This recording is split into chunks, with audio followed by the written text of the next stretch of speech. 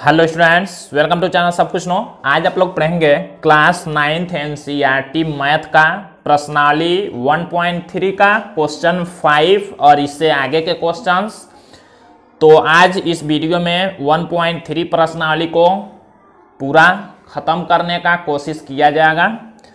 तो आज आप लोग ध्यान से एक एक बात को देखेंगे और सारी बातों को आसानी से आप लोग समझ सकते हैं. तो यहाँ देखिए क्वेश्चन नंबर फाइव दिया है।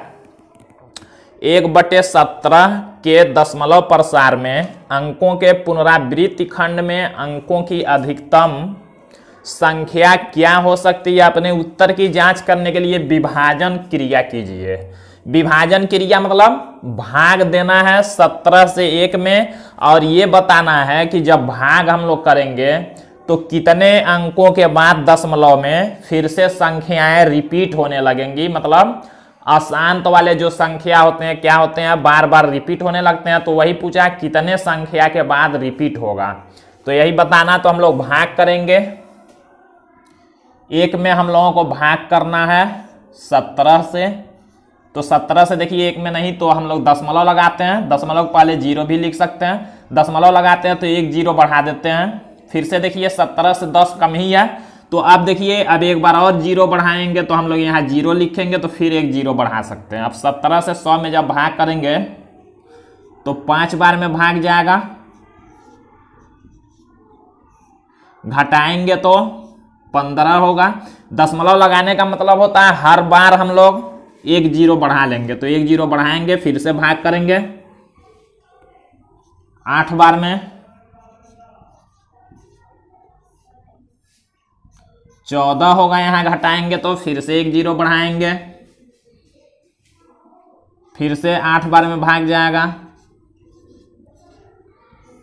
चार हुआ, ज़ीरो बढ़ाएँगे, फिर से सत्रह से भाग करेंगे। दो बार में यहाँ छह हुआ शेषफल, फिर से ज़ीरो बढ़ाएँगे। तीन बार में, यहाँ नौ शेषफल, फिर से ज़ीरो बढ़ाएँगे। पाँच बार में। फिर पाँच आया यहाँ, फिर ज़ीरो बढ़ाएँगे। दो बार में। सोलह आया। अब देखिए फिर से हम लोग क्या करेंगे, यहाँ लिखते हैं, भाग जो काफ़ी बड़ा हो रहा है तो हम लोगों को फिर से सोलह में भाग करना है, सत्तर से। हम लोग सोलह यहाँ लिख लेते हैं। जगह नीचे कम होने की वजह से। अब सोलह में देखिए, फिर से सत्रह से भाग नहीं जाएगा तो हम लोगों को यहाँ क्या करना होगा? एक ज़ीरो बढ़ाना होगा तो फिर से एक ज़ीरो बढ़ेगा। ये सत्रह से भाग कर रहे हैं। फिर सत्रह से भाग करेंगे। नौ बार में। सात आया, फिर से ज़ीरो बढ़ाएँगे। चार बार में। ये देखिए नौ चार जो है, हम लोग यहाँ लिखते हैं नौ और चार यही भाग है। दो आया, फिर से ज़ीरो बढ़ा लेंगे। एक बार में भाग जाएगा। तीन बचा, फिर ज़ीरो बढ़ाएँगे। एक बार में भाग जाएगा।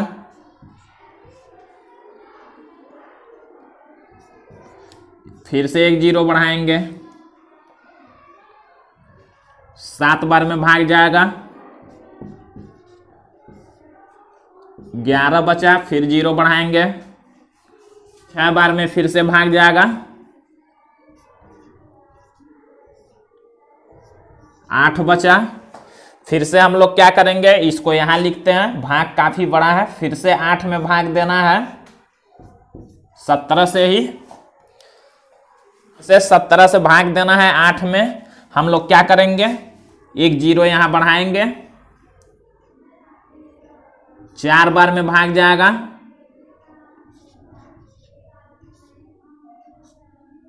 बारह हुआ, फिर से ज़ीरो बढ़ाएँगे। देखिए, सत्रह से फिर से सात बार में भाग कर लेंगे। एक बचा, फिर से हम लोग ज़ीरो बढ़ाएँगे। अब देखिए, दस में सत्रह से भाग नहीं जाएगा, फिर से हम लोग क्या करेंगे? यहाँ एक ज़ीरो बढ़ाएँगे तो यहाँ एक ज़ीरो बढ़ेगा। फिर से पाँच बार में भाग जाएगा। यहाँ पंद्रह हुआ। पंद्रह में फिर से भाग नहीं जाएगा, फिर से हम लोग क्या करेंगे? ज़ीरो बढ़ाएँगे सत्रह से। आठ बार में। चौदह हुआ। अब देखिए आप लोग, ध्यान क्या देना है? हमने भाग को पूरा ज़्यादा आगे तक कर लिया। देखिए कहा है? एक बटे सत्रह के दशमलव प्रसार में। इसका दशमलव प्रसार ये है। दशमलव प्रसार में अंकों के पुनरावृत्ति खंड में ये जो संख्या कहाँ से रिपीट होगा यही कह रहा पुनरावृत्ति खंड में अंकों की अधिकतम संख्या क्या हो सकती है? अपने उत्तर की जाँच करने के लिए विभाजन क्रिया कीजिए। देखिए, कहाँ से संख्या फिर से रिपीट होना शुरू होगा? देखिए, ज़ीरो पाँच आठ, फिर से ज़ीरो पाँच आठ अब फिर से संख्या रिपीट वही होगा।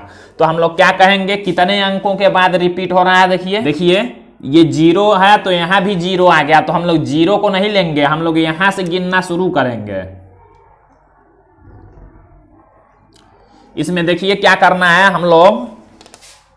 यहाँ से संख्या को देखते हैं, ज़ीरो है तो फिर यहाँ ज़ीरो ज़ीरो और ज़ीरो मतलब ज़ीरो से फिर से रिपीट होने लगा तो कितने अंकों के बाद? तो एक, दो, तीन, चार, पाँच, छः, सात, आठ, नौ, दस, ग्यारह, बारह, तेरह, चौदह, पंद्रह, सोलह।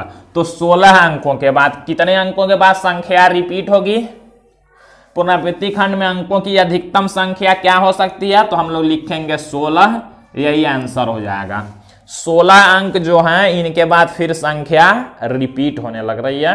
तो इस तरह से भाग करके बना, बताना था। अब हम लोग क्वेश्चन नंबर सिक्स को देखते हैं। तो देखिए, यहाँ पर क्वेश्चन नंबर सिक्स दिया है पी बटे Q Q is not equal zero के रूप में परिमेय संख्याओं के अनेक उदाहरण लीजिए, जहाँ पी और क्यू पूर्णांक हैं, जिनका एक के अतिरिक्त अन्य कोई उभयनिष्ठ गुणनखंड नहीं है और जिसका शांत दशमलव निरूपण है। क्या आप यह अनुमान लगा सकते हैं कि क्यू को कौन सा गुण अवश्य संतुष्ट करना चाहिए? देखिए, इसमें करना क्या है? अपने तरफ़ से आपको कई उदाहरण लेने हैं पी बाई क्यू के रूप के। मतलब बटा में संख्याओं को लेना है, दो संख्या, बटा में लिखना है, अनेक उदाहरण लेने हैं, कई उदाहरण लेने हैं ऐसे। लेकिन उसमें क्या खासियत होनी चाहिए? दो, जो P बाई क्यू है, नीचे का ज़ीरो ना हो, यहाँ कहा है Q is not equal zero और P और Q पूर्णांक होने चाहिए। पूर्णांक आप लोग जान चुके हैं। प्लस वाले संख्याएँ ज़ीरो और माइनस वाले संख्याएँ सभी को मिला के पूर्णांक कहते हैं। तो और जिनका एक के अतिरिक्त अन्य कोई उभयनिष्ठ गुणनखंड भी ना हो। उभयनिष्ठ मतलब क्या हुआ? जैसे मान लीजिए, अगर हमने दो बट्टे चार लिख दिया तो इस दोनों में कामन दो हो जाएगा।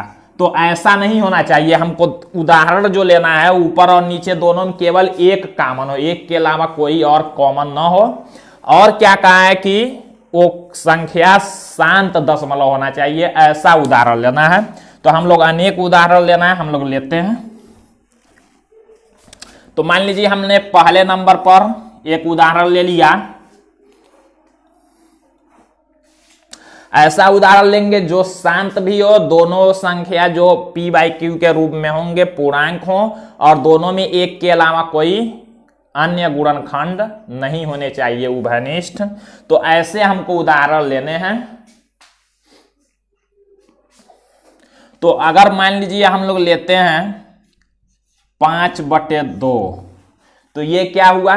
पाँच और दो में देखिए, दोनों में एक के अलावा कोई उभयनिष्ठ गुणनखंड नहीं है।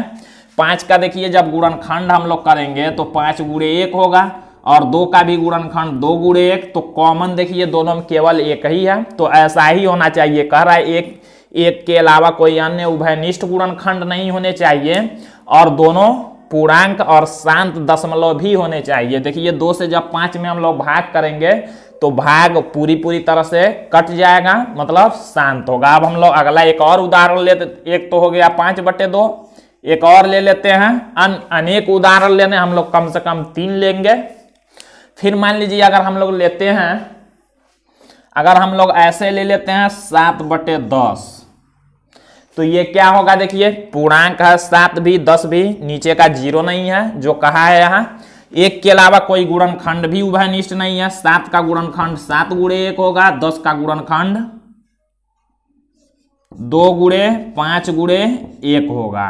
तो देखिए, दोनों में कॉमन गुणनखंड एक ही है उभयनिष्ठ एक के अलावा दूसरा नहीं है। उसके बाद क्या कहा है कि शांत दशमलव तो 10 से 70 में भाग करेंगे तो ये पूरा पूरा भाग जाएगा, विभाजित होगा तो शांत दशमलव भी है। तो एक उदाहरण हमने पाँच बट्टे दो, एक सात बट्टे दस लिया, एक और कोई भी लेते हैं।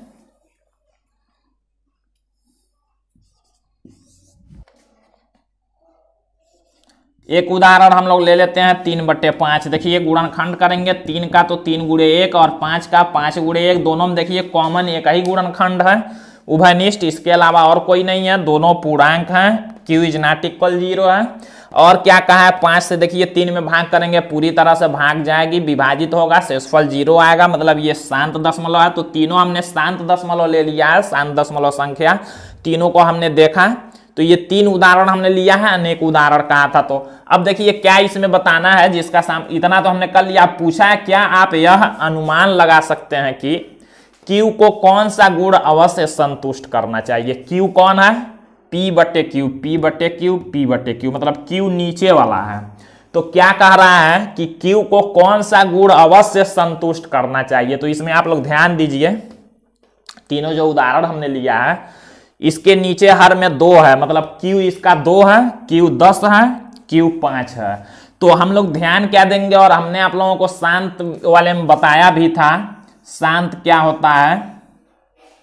अगर हर में दो का पावर एम गुड़े फाइव का पावर एन हो मतलब इसका मतलब होता है कि अगर हर में या तो दो हो, या तो पाँच हो गुणनखंड के रूप में, या तो दो और पाँच दोनों हो तो वही शांत दशमलव होगा। तो क्यू को कौन सा गुण अवश्य संतुष्ट करना चाहिए? तो यही गुण क्यू को संतुष्ट कर रहा है। तो हम लोग लिखेंगे क्या?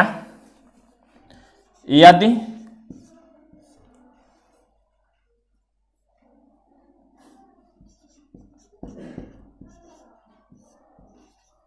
शांत दशमलव। संख्या हो तो Q Q मतलब हर हो गया।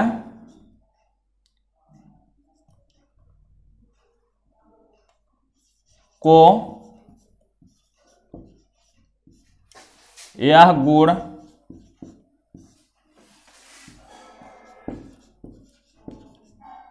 अवश्य संतुष्ट करेगा। यह गुण कौन सा? ये। यदि शांत दशमलव संख्या तो क्यू अर्थात हर को यह गुण अवश्य संतुष्ट करेगा, ये वाला गुण। तो ये लिख लेंगे आप लोग। मतलब हर में हमेशा जब शांत दशमलव संख्या होगा और ऐसे दोनों में उभयनिष्ठ गुणनखंड एक होगा तो हमेशा और पूर्णांक होंगे दोनों Q is not equal zero होगा तो हमेशा उसके हर में केवल या तो दो आएगा गुणनखंड में, या तो पाँच, या दो और पाँच दोनों आएँगे। इसके अलावा और कोई अन्य संख्या नहीं आएगा, एक को नहीं लिया जाता। है अब हम लोग क्वेश्चन नंबर सेवन देखते हैं। तो देखिए क्वेश्चन नंबर सेवन का है, ऐसी तीन संख्याएँ लिखिए जिनके दशमलव प्रसार अनौसानी अनावर्ती हो। अनौसानी अनावर्ती मतलब क्या हुआ? अनौसानी अनावर्ती मतलब दोनों में अनौसानी अनावर्ती आ गया। इसका मतलब अपरिमेय संख्या कह रहा तो तीन संख्याएँ लेना तो हम लोग लिख सकते हैं ऐसी।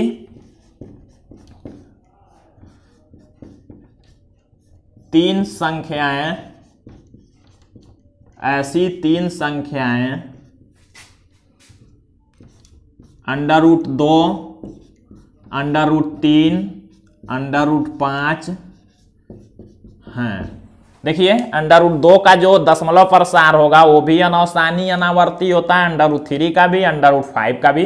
तो हम लोग ये भी लिख सकते हैं, या इनके जगह पर कोई दशमलव वाले संख्या भी लिख सकते हैं। आंसर में बुक में हो सकता है, दशमलव वाले संख्या दिया हो, तब भी सही है। और ये आप लोग लिखेंगे संख्या का उदाहरण लेना है तो ये भी सही है। हम लोग क्वेश्चन नंबर एट को आप देखेंगे। तो देखिए, यहाँ क्वेश्चन नंबर एट दिया, परिमेय संख्याओं पाँच बटे सात और नौ बटे ग्यारह के बीच की तीन अलग अलग अपरिमेय संख्याएँ ज्ञात कीजिए। ये देखिए, दोनों परिमेय संख्याएँ हैं, पाँच बटे सात और नौ बटे ग्यारह। इनके बीच का तीन अपरिमेय संख्या बताना है। तो इनके बीच अनेक अपरिमेय संख्या हो सकते हैं, अनंत अपरिमेय संख्या हो सकते हैं, लेकिन तीन ही बताना है। तो देखिए, हमने क्या किया है यहाँ पर? समय बचाने के लिए हमने पहले से भाग कर लिया हुआ है। कैसे? पाँच बटे सात है जो। इसमें हम लोग पाँच में सात से भाग करेंगे तो ये संख्या मिलेगा ज़ीरो दशमलव सात एक चार दो आठ पाँच बार। मतलब यही संख्या बार बार रिपीट होगा जब पाँच में सात से आप लोग भाग करेंगे। आप लोग रफ पर चेक कर सकते हैं। फिर देखिए, नौ में जब ग्यारह से भाग करेंगे तो ज़ीरो दशमलव आठ एक मतलब आठ एक आठ एक आठ एक बार बार रिपीट होगा तो आठ एक पर हमने बार लिख दिया। है नौ में आप लोग ग्यारह से भाग करके देख लेंगे। अब देखिए, ये पाँच बटे सात को हम लोग इतना लिख सकते हैं, नौ बटे ग्यारह को इतना लिख सकते हैं। इन्हीं दोनों संख्याओं के बीच का हमको अपरिमेय संख्या बताना है तो कोई भी आप लोग अपने तरफ़ से लिख लेंगे, सब सही होगा। हम लोग लिखते हैं, पाँच बटे सात और नौ बटे ग्यारह के बीच की तीन अपरिमेय संख्याएँ। अपरिमेय संख्याएँ। अब हम लोग लिखते हैं, देखिए। इसी को हम लोग लिख लेंगे ऐसे। ज़ीरो दशमलव सात एक लिखा हुआ तो हम लोग इससे बड़ा लिख लेंगे। दोनों के बीच का होना चाहिए तो इससे बड़ा, इससे कम होना चाहिए सात एक का तो हम लोग लिख लेंगे सात दो। उसके बाद ज़ीरो लिख लेते हैं। फिर सात दो ज़ीरो ज़ीरो, फिर सात दो ज़ीरो ज़ीरो ज़ीरो, फिर सात दो ज़ीरो ज़ीरो ज़ीरो ज़ीरो, ऐसे डॉट डॉट डॉट लगा देंगे। यही क्या है? अपरिमेय। अपरिमेय संख्या कौन सा होता है? हमने आप लोगों को बताया था। जिसमें संख्याएँ रिपीट नहीं होंगी कभी। तो देखिए रिपीट नहीं, सात दो के बाद एक ज़ीरो, सात दो के बाद दो ज़ीरो, सात दो के बाद तीन ज़ीरो, ऐसे आप लोग करते जाएँगे। तो इन दोनों के बीच का परिमेय संख्या ये हो गया। फिर दूसरी हमको लिखनी है, तीन लिखना है दोनों के बीच का, एक बार सात दो हमने लिया, फिर लिख सकते हैं ज़ीरो दशमलव सात तीन, ज़ीरो फिर सात तीन ज़ीरो ज़ीरो, फिर सात तीन ज़ीरो ज़ीरो ज़ीरो, ऐसे डॉट डॉट डॉट डॉट करते जाएँगे। ये भी अपरिमेय संख्या हो गया। देखिए संख्याएँ रिपीट नहीं है, बदल गई हैं। दो ज़ीरो, एक ज़ीरो, दो ज़ीरो, तीन ज़ीरो, ऐसे। फिर देखिए, हमको एक और लिखना है दोनों के बीच का। इससे कम ही हो, इससे ज़्यादा हो, हम लोग और भी लिख सकते हैं, बहुत ज़्यादा लिख सकते हैं। ज़ीरो दशमलव, हम लोग ऐसे लिख सकते हैं, आठ ज़ीरो, फिर आठ ज़ीरो ज़ीरो। आठ ज़ीरो मतलब इससे कम ही है। फिर आठ ज़ीरो ज़ीरो ज़ीरो ऐसे डॉट डॉट डॉट डॉट करते जाएँगे। तो ये तीन अपरिमेय संख्याएँ हो गए। अब हम लोग इस प्रश्नावली का last question question number nine को देखते हैं। यहाँ पर क्वेश्चन नंबर नाइन दिया, बताइए कि निम्नलिखित संख्याओं में कौन कौन सी संख्याएँ परिमेय और कौन कौन सी संख्याएँ अपरिमेय हैं? इन पाँचों क्वेश्चन में देख के बताना है कौन परिमेय है, कौन अपरिमेय। हम लोग पहले को देखते हैं। रूट तेईस है। आप लोग जानते हैं जिस संख्या का वर्गमूल पूर्ण वर्ग संख्या जो नहीं होगा, वो अपरिमेय होता है तो ये लिखेंगे अपरिमेय है। पहला, जो पहला वाला है, अपरिमेय लिख लेंगे। सेकेंड वाला देखते हैं। रूट 225 है 225 का वर्गमूल हो जाता है। रूट 225 को हम लोग लिख सकते हैं, इसका वर्गमूल होता है 15 15 एक परिमेय संख्या तो हम लोग लिखेंगे परिमेय। अगर जो हल होने वाला होगा, उसको हल करके बताएँगे। थर्ड वाला देखिए, इतना संख्या दिया दशमलव में मतलब ये संख्या भाग करने पर कट गया है। दशमलव बाद इतने बार में कट गया है तो कट जाएगा तो क्या होगा? शांत होगा। शांत है। शांत है तो मतलब परिमेय होगा। परिमेय और परिमेय बताना है। परिमेय होगा जब शांत होगा तब भी, अशांत होगा तब भी। जब अशांत मतलब अनवसानी अनावर्ती होगा, तब अपरिमेय हो जाएगा। फोर्थ नंबर हम लोग देखेंगे। फोर्थ भी देखिए, संख्या रिपीट हुआ इसका मतलब रिपीट हुआ है। रिपीट मतलब अशांत है। अशांत है तो ये भी क्या होता है? परिमेय होता है। फिर देखिए पाँच नंबर। इसमें देखिए एक दशमलव एक ज़ीरो फिर एक ज़ीरो ज़ीरो फिर एक ज़ीरो ज़ीरो ज़ीरो फिर एक चार ज़ीरो फिर एक डॉट डॉट मतलब ये अशांत है। अस, मतलब अनवसानी अनावर्ती संख्या है ये। तो ये हो गया अपरिमेय। यही बताना था, कौन परिमेय होगा, कौन अपरिमेय होगा तो इस तरह से ये प्रश्नावली 1.3 कंप्लीट हुआ। अगले पार्ट में आप लोग प्रश्नावली 1.4 देखेंगे तो आज के लिए बस इतना ही।